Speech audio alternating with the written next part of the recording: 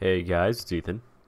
Today I wanted to do a video on Pi-hole, the DNS, and for this video I'm actually going to be using a real Raspberry Pi, though you can run a Pi-hole DNS sink off of anything. I have right now currently a virtual machine running off of my server computer that's running my Pi-hole DNS sink, so you can do it basically off of any system though I do recommend that you isolate the system so it's only doing that one task. So whether you choose to do it on a system and dedicate the system to it, like for example in the case of a Raspberry Pi, or do it in a virtual machine or a Docker instance, just some isolated case. That's my recommendation, though I don't think you necessarily have to. Now, to start off with the process, you're going to head to pi-hole.net and we're going to go take a look at the supported operating systems. So officially supported is the Raspberry Pi OS on the ARM architecture, Ubuntu, Debian, Fedora, or CentOS. Um, you can see the supported architectures here. I think my Raspberry Pi is actually just x86, so I'm not sure if this is going to work the perfectly on my Raspberry Pi, but I guess we'll have to see. Can't I check like uh, CPU info? Right? I believe it is just x86. Oh, okay, no, it is ARM. Okay, so that works out. So uh, with that being said, I guess let's get started. So if you head down to the install Pi-hole page and you click, it'll take you over to this little GitHub. And all you really need for this to work is just the curl link. So I'm going to go ahead and copy that over and run it here and this curl link is going to run the install script so it's checking that you have sudo. One of the things I dislike about this process is that you need to have sudo though if you just grab the git clone like the actual script over here head into the directory and then run the sh with your prefix. For example I did it with doas but I think you can do it with su dash dash c. Hard to speak you don't actually have to have sudo, but it does check. Now it's saying that this is going to transform our device, and it will. It's going to basically hijack the device, which is why I recommend doing a uh, a system where it's dedicated.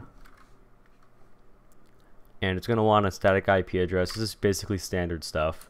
We're going to run this off of, I believe this is the WLAN 0 because I'm not plugged into Ethernet on this machine. Oh, you know what?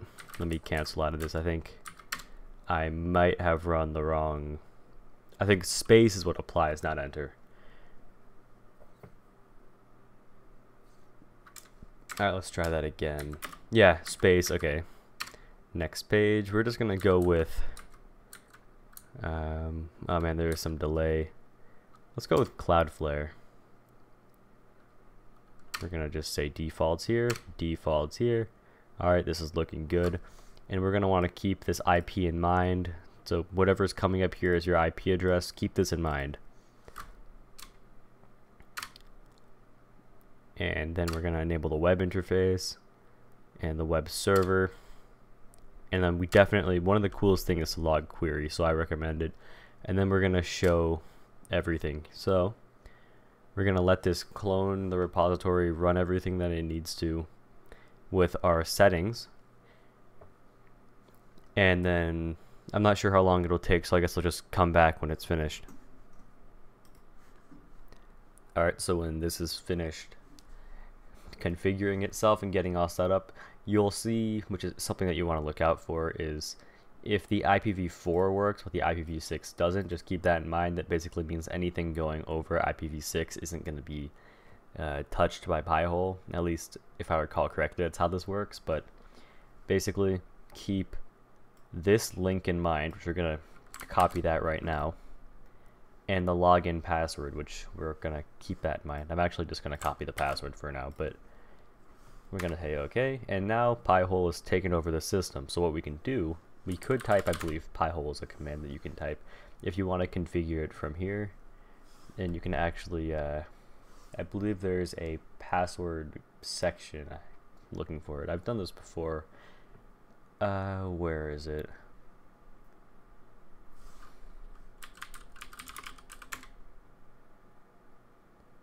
Okay, I'm not sure if I remember where it is, but I definitely know that you can change the password from here. It might actually be, this is the dash H. Regardless, let's go to the actual important stuff. So open up a web browser, and I'm going to actually use this one over here. And in here, you're going to want to type in the IP address of your device. So mine is 1.65 slash admin. And this is going to take you to the admin interface of your Pi-hole server, your new one. We're going to make it a little bit bigger. We can see here my host name is Raspberry Pi, right? And we have like some things like the memory usage, for example. These are kind of cool statistics to have, the load. And what's important is the login. And you're going to take that password that you copied a second ago, and you're going to paste that in there or keep it in mind. You can say remember me if you want and go ahead and log in.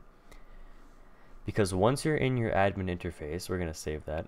Once you're in your admin interface is where things can get kind of interesting. So the query log, which there shouldn't really be anything in here quite yet, nothing important, is one of the most important things to Pi-hole that you can have. Basically, you can monitor the input and output of things going on your network and the devices. So if you go down to, I believe it is group management, and you go down to domains, you can add regex filters, which are like lists, big lists of um, domains that you can block. So for example, if I go to my actual Pi-hole, which I believe is 3.6, this is the one I'm running off of my virtual machine. You can see a lot goes on here, but one of the most important things, and I'm probably going to censor most of this out because this is my stuff.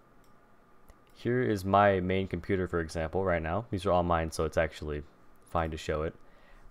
Um, things like, you can see, okay, Mojang, Lightcord, GitHub, Mojang, GitHub, Mojang. You can see, basically, everything that's leaving and coming to my computer, you can monitor, and you can see my client is one is a uh, dot six. That's my client. It tells you the timestamps, and I can say, you know what? I don't want Mojang at all to be able to touch my computer, right? Blacklist that, and then when the request comes to send it to your computer or to leave your computer, it'll go no, and it'll block it. And what this means is you can go down to like uh, your group management, and you can go to domains, and you can have huge amounts of ad lists. These are all ads. All of these places, or at least for the most part, these are regex filters. The dot .text files are not actually domains. They're um, lists of, and you can grab these if you want. I'm not going to leave them in the description because there's just a lot of them, and you probably don't want all of them.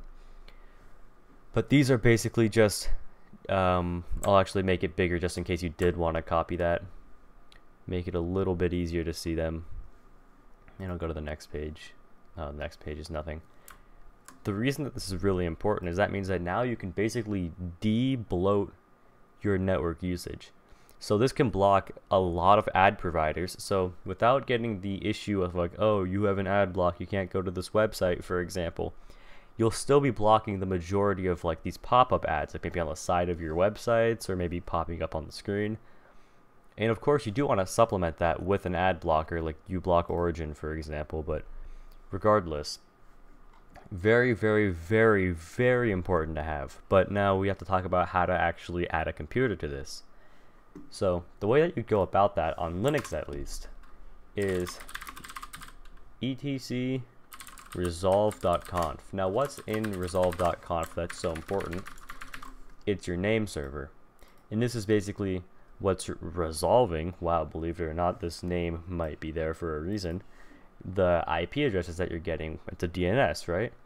So you can take the IP of your Pi-hole server and add it as a name server. And then you're going to want to change attributes to dash i, or is it plus i?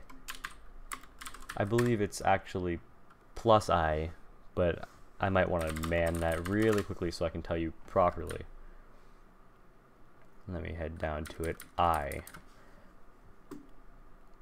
Okay, so with the I attribute, it cannot be modified. So yeah, it is plus I. You add the I attribute to a file.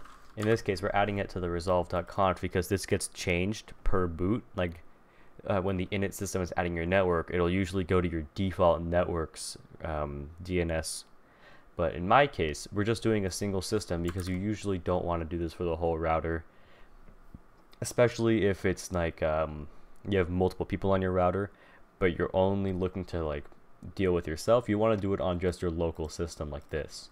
So once you have that set up, all of your network will come through I'm looking for it right now. Uh, where did I leave it here, right? We head over to my query log again just for a look. What I can do, you can see why I have Minecraft. I've got Minecraft open right here. If I go ahead right now and say uh, ping google.com, right? We'll ping it a couple times, cancel the ping. If I go over to the Pi hole that my system is connected to and refresh, wow, we've got some new IPs here. We've got google.com, we've got a couple of these IP addresses that are being sent places, right? So this is basically what this is for, and it's kind of nice to have because I can say now blacklist Google, and then I won't have to worry about Google having anything to do with my system. So I guess it's just something to look into. Pi-hole is a very, very useful tool, and I definitely recommend uh, getting one set up for at least yourself, if not your whole network. So anyways, that's all from me. I'll see you next time. Bye-bye.